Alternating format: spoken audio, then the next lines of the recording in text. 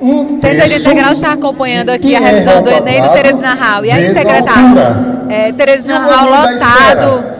Muitos Quatro professores bons aqui dando revisão. É muita terra. alegria, né, para os alunos. Então, essas Bom, informações estamos em clima de reta final com o Seduc. Há dois meses uma da questão, prova do. Enem, a Secretaria Estadual de Educação vai intensificar o trabalho nesse momento. Estamos aqui com a revisão, a quarta revisão sendo entregue para os estudantes da capital. No sábado nós estivemos em base Neste S, domingo nós também estamos em Paulistana, a tudo sendo ele transmitido por TV, é por rádio, pelo. YouTube e também pelos portais da Enem 180 que nos terço acompanha de também em todas as revisões.